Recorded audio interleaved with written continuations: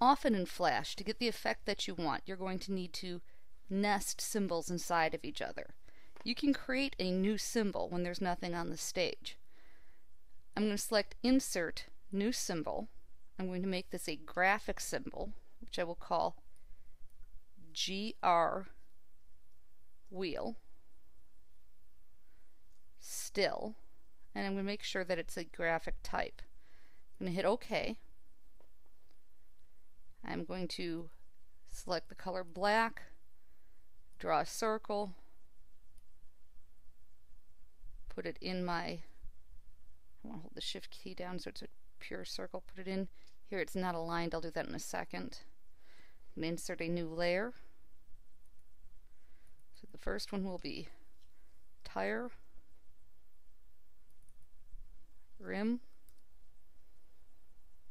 and then I'm going to do a new circle in gray.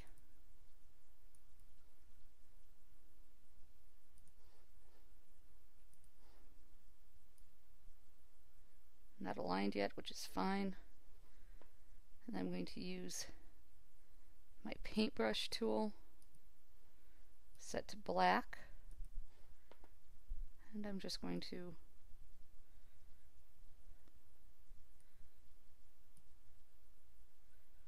few spots in the room.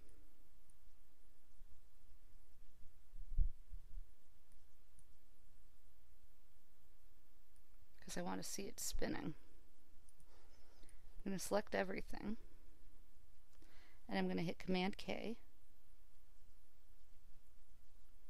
And I'm going to align to the center of my stage so that when it spins it should spin smoothly around the center. And I really should have taken a little bit more time with these dots in the center to make them better aligned, but it will at least show you that it's spinning. I'm going to go back to scene one. You'll notice that my wheel that I created is in the library.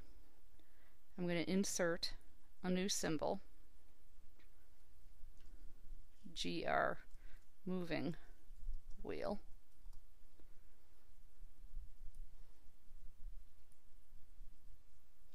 Again, I want to make sure I'm completely aligned.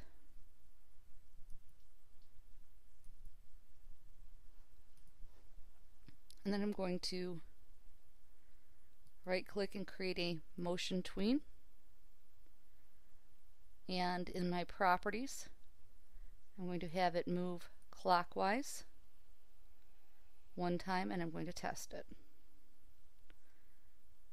The reason that I put the dots in the center is you can see that it's actually spinning. Now I'm going to go back to scene 1.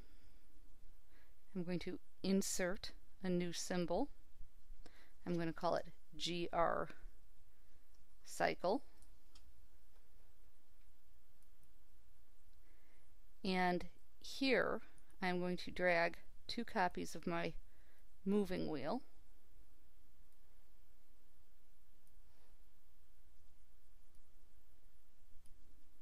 And if I want, I can Command K. And align.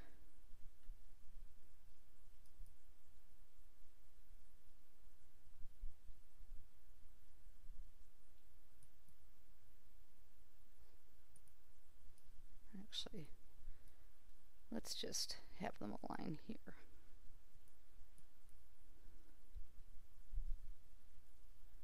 don't want them to align tops to the stage, I want them to align to each other. So I want to align top edge. There, see it shifted, they're perfectly aligned now. Now, ideally, I would spend a fair amount of time on this and create an actual motorcycle effect.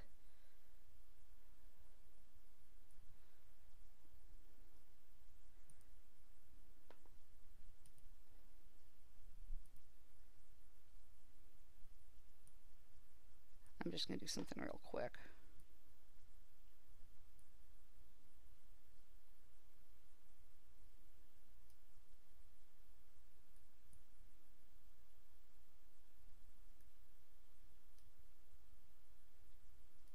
There, that's my cycle.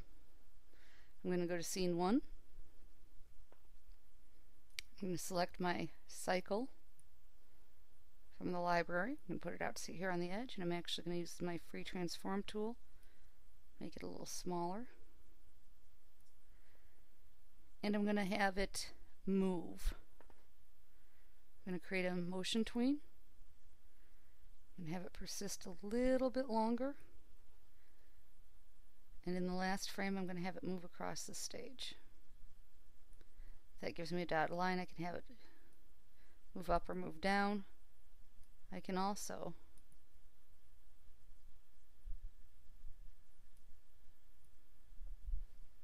with my black arrow tool should be able to change the shape of it a little bit. Okay, it's not letting me do that. If I test this, it's moving. Notice the wheels aren't spinning. I forgot to do one thing. I didn't make this persist. I don't need to apply a tween to it or anything. I just need to make sure it exists at least long enough that the wheels will turn.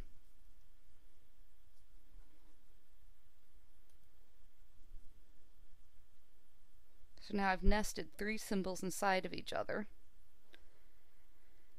The wheel still is inside of the moving wheel, which is inside of the cycle, and I can move the whole cycle. And I have nested my graphic symbols.